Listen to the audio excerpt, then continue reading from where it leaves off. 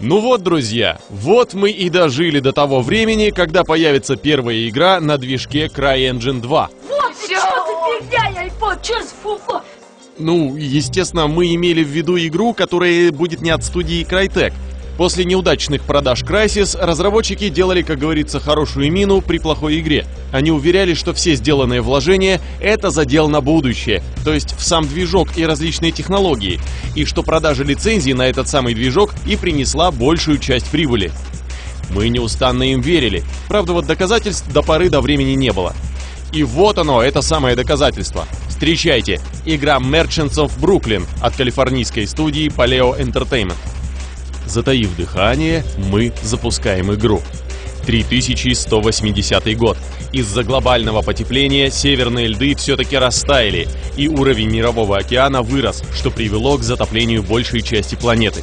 Улицы старого Бруклина превратились в какие-то затопленные руины, а новый город вырос буквально на обломках ушедшей под воду цивилизации. Многие смогли перебраться в новый город, где было построено заново новое общество. Но те, кто остались в старом Бруклине, стали изгоями. Из них было решено сделать отдельный класс людей, рабочие, которые бы трудились на благо нового Бруклина. Каждый мог пройти некую вакцинацию, помогавшую им развить мышечную силу взамен умственной. Таким же путем прошел и наш герой, Матео. Позже он стал участвовать в уличных боях, в которых смог зарекомендовать себя как сильного и беспринципного бойца. Сожалению, никто не может находиться на вершине пьедестала вечно. Вот и наш герой в один прекрасный день проиграл. Причем проиграл не простому бойцу, а какому-то модифицированному биороботу, который как трофей оторвал Матео руку. Но карьера нашего героя на этом не закончилась. Профессор, работавший в лаборатории, которая как раз и занималась вакцинацией, помог Матео вернуться и приделал ему стальную механическую руку. С помощью нее Матео сможет сбежать из заключения и разрушить организацию мерчантов Бруклин, пытающуюся захватить контроль над всем городом. Вот в этой каше нам и придется разобраться. Собственно, дальше сюжет развития особого не получил. И слава богу.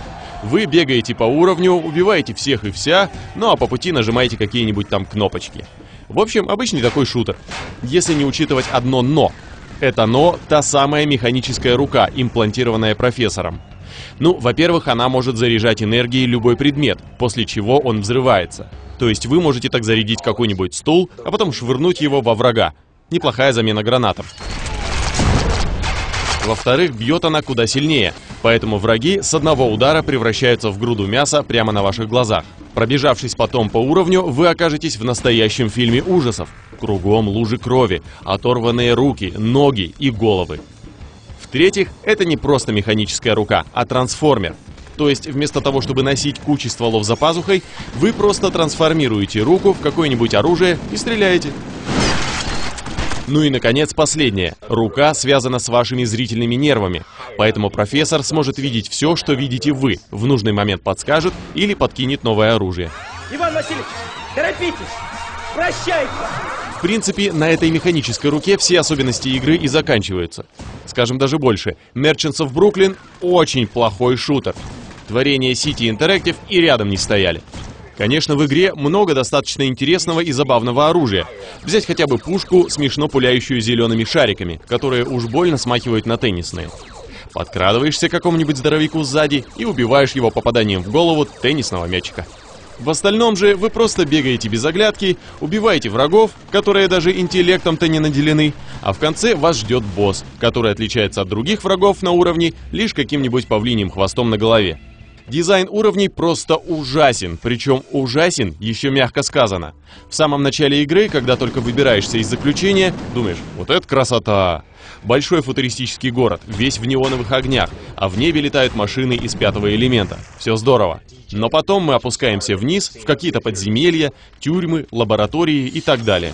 Разработчики вместо того, чтобы дать погулять по большому открытому городу, загнали нас опять в коридоры. То бишь сами же себе наступили на горло. Ну нельзя в игре про будущее показывать подземелья, разрушенные дома и подземные лаборатории. Просто нельзя. Надо показывать либо большие футуристические города с летающими машинами и поездами на воздушной подушке, либо не показывать города вообще. В принципе, игре кроме движка и похвастаться-то нечем. Да и тот она использует очень неумело. Глядя на Merchants в Бруклин, не верится, что это движок самой красивой и технологичной игры последнего времени. Уж больно коряво все сделано, начиная от квадратных моделей персонажей и заканчивая ужасными текстурами. Видимо, CryEngine 2 сделан все-таки именно для красивых пляжей и зеленых островов, а не для темных подземелий. Лично мы с большим интересом следили за игрой, потому что, ну, надоедают эти бесконечные стрелялки, а тут хоть какая-то интересная идея была. Ну и особенно нравились нам взрывающиеся головы. Под красивой этикеткой с названием CryEngine 2 скрывалось непонятно что. Назвать это игрой язык не поворачивается. Просто программный код, написанный на коленках по дороге на работу. А жаль.